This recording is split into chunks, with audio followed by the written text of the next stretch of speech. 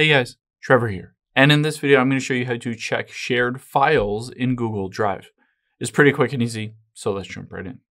Now, let's open up the Google Drive app on your iPhone or Android or computer. You can go to drive.google.com.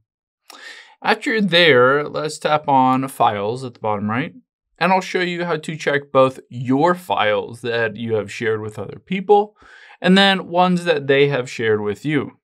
So you can see next to any of these, right under the name, if there are two little people right there, that indicates that you have shared that folder or that file, zip file, image, video, whatever it may be.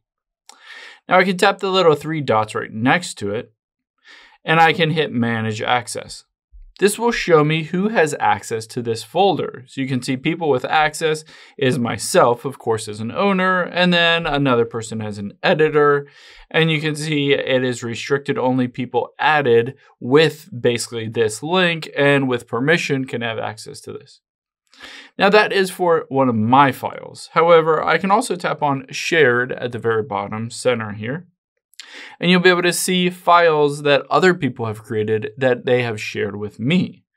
So on any of these, I can tap the three dots here and I can do a number of different things. I can remove myself, essentially, if I no longer want access to this shared file.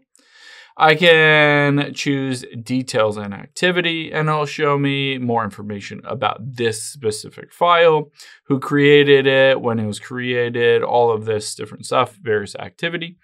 And then of course I can always just tap on the three dots. I can open it up, I can download it, I can set a copy, I can print it, all of those different things with that shared file that was sent from someone else to myself.